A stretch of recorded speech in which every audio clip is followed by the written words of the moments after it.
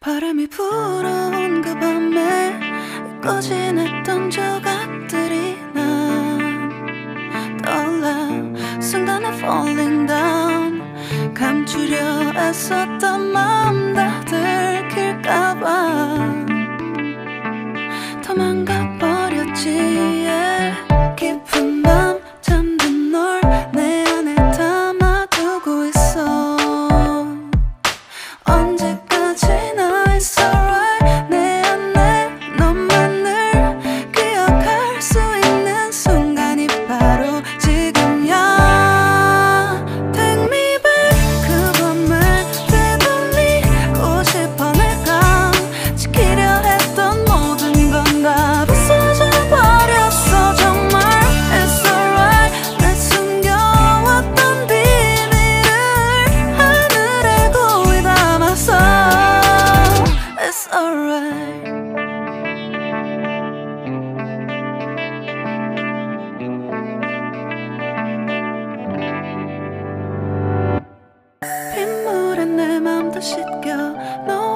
기억들 모두 이미 지나간 일인걸.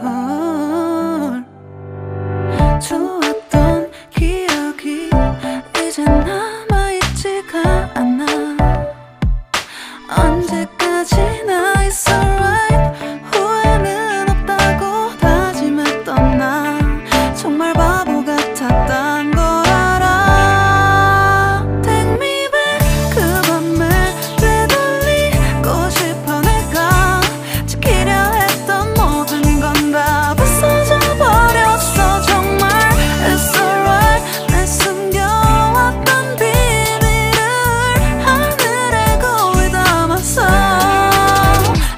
alright.